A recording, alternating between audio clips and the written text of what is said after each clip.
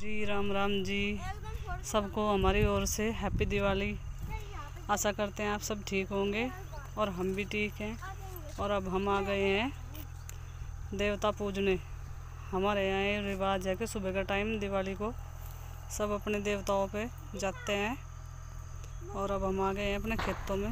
ये देखिए फ्रेंड्स यहाँ का व्यू देखिए। कितना अच्छा है और कितना मन लगता है।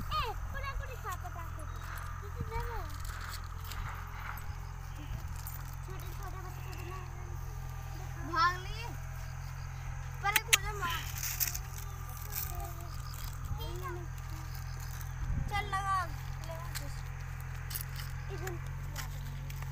What about